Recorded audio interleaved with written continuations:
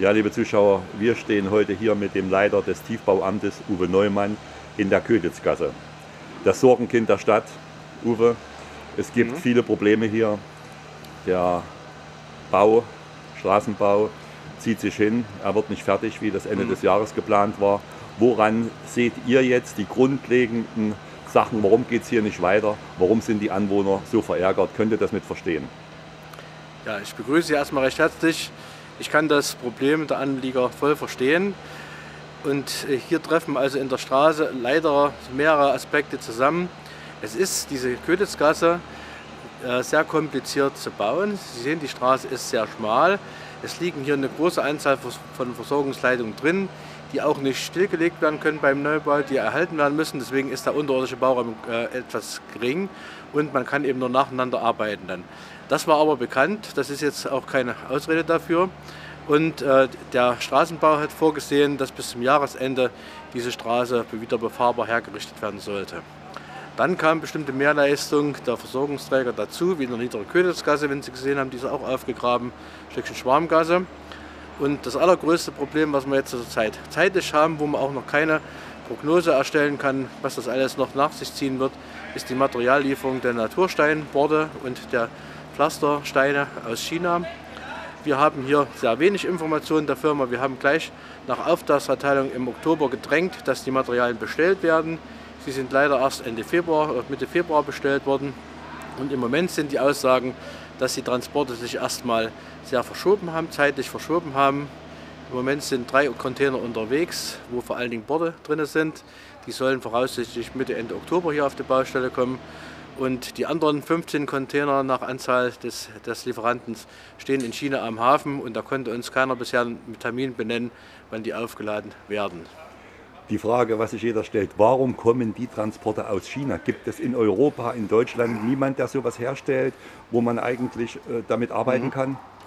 Also es gibt in, in, Deutschland nicht weit, zum Beispiel im Fischlegebirge oder noch viel näher, im, bei Steinbach-Fischersdorf, bei Heberndorf gibt es Granitvorkommen, die auch früher verarbeitet worden sind, zum Beispiel auf dem Marktplatz die Innenfläche. Aber diese werden seit vielen Jahrzehnten nicht mehr abgebaut, weil sie eben nicht mehr zu den Preisen, die heutzutage üblich sind, auch verarbeitet und hergestellt werden können. So wird der Granit in Heberndorf nur noch als Schotter verkauft und nicht mehr als Pflaster verarbeitet. Und es gibt äh, in Deutschland oder auch in Europa, muss man sagen, nur eine ganz begrenzte Anzahl von Herstellern, die überhaupt jetzt Granitsteinborde noch herstellen. Das ist vor allem das Land Portugal, die stellen also solche Sachen her. Und die Qualität dieser Pflastersteine, die hier sagen wir, ausgeschrieben ist und gefordert ist, die kriegt man in Europa in dieser Menge nicht mehr geliefert. Nun hat sich nicht nur der Bau verzögert, sondern auch die Preise sind nach oben gegangen. Mhm. Wie war das ursprünglich geplant? Mit welchen Investitionen habt ihr gerechnet und wie ist jetzt der Stand? Also im Moment haben wir jetzt äh, als Kostenerhöhung nur zu verzeichnen, dass die Baufirma angekündigt hat, sie möchte gern, dass die Stadt Saalfeld die Mehrkosten, die jetzt äh, im Moment für die Schiffscontainer sind, übernehmen. Das ist also eine relativ hohe Summe, da sind wir zurzeit in Verhandlungen.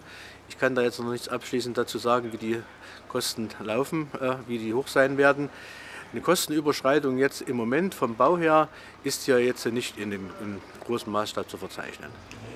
Wenn es jetzt soweit fertig ist, die Versorgungsträger sind eingelegt in der Straße, es fehlt noch das Pflaster und die Borde, können die Anwohner dann trotzdem mit ihren Autos zu ihren Grundstücken fahren?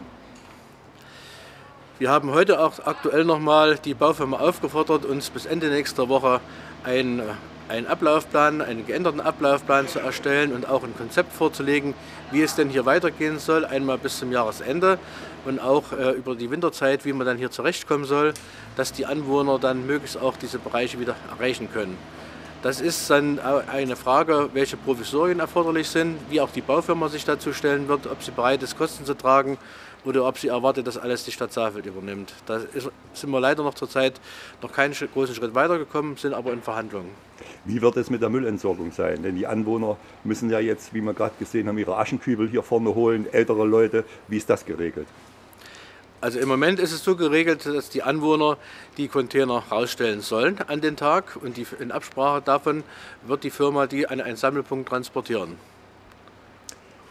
Wann denkt ihr jetzt persönlich, wann könnte es hier fertig werden, um einen Plan mal zu haben? Also ich vermag jetzt äh, beim besten Willen kein Urteil abgeben, weil wir haben noch keine Information, äh, wann diese Granitborde äh, oder wann die Granitsteine verladen werden. Der Transport von China hierher muss man ungefähr zwei Monate rechnen. Sobald wir einen Termin haben, wann die wenigsten auf dem Schiff aufgeladen sind, kann man dann auch noch mal eine weitere Prognose erstellen. Aber soweit kann man natürlich jetzt schon sagen, dann, also das Ziel zum Jahresende oder kurz danach wird hier nicht mehr zu halten sein. Schönen guten Tag, Sie sind hier Eigentümer ja. mit in der Königsgasse. Sie haben hier Mieter drin. Wie sehen Sie denn die ganze Situation momentan? Ja, der Bauablauf ist sehr, sehr schwierig, für die, gerade für die Mieter und sehr mit Einschränkungen verbunden. Und wir haben ja gedacht, dass es am 18. Dezember, wie es mehrfach in der ODZ stand, äh, erledigt ist. Aber das sieht nun nicht so aus. Gerade gestern war ja wieder so ein Bericht drin in der Zeitung, äh, dass es noch länger dauert. Und wir hoffen, dass es doch bald äh, Fortschritte annimmt und dann doch vielleicht doch eher äh, fertig wird, als dort geschrieben. Es sieht ja momentan so aus, als ob erst im August äh, das fertig werden würde. Kommt auf die Lieferung drauf an. Das Halten das die Mieter aus mit den, mit den ganzen Versorgungen, mit den Ranlaufen, mit, mit, ohne Autos, ältere Leute gerade alles rantragen? Einfach furchtbar. Wie lange, das ist ein langer Zeitraum, das, was die Mieter da überstehen müssen. Ich hoffe, dass sie bei Laune bleiben und nicht irgendwie am Ende noch irgendwie ausziehen. Das wäre ganz schlimm. Vielen Dank für das Gespräch wir, ja, wir verlangen im Moment von der Baufirma, wie ich vorhin sagte, eine, auch eine verbindliche Erklärung, wann endlich dann diese Steine verladen werden. Wir verlangen auch, dass sie uns einen Ablaufplan erstellen, dass man auch sieht, wie im neuen Jahr wie dann weitergearbeitet werden kann, wie weit sich die Arbeiten dann noch ins Frühjahr hineinziehen werden. Dann. Aber ich gehe mal davon aus, dann nach den Transportzeiten, äh, die anstehen, diese zwei Monate, wir haben eine Aussage jetzt bekommen von der Firma, dass also bis äh, zur übernächsten Woche keine Transporte ähm, möglich sind dann und dann ist es eine Frage.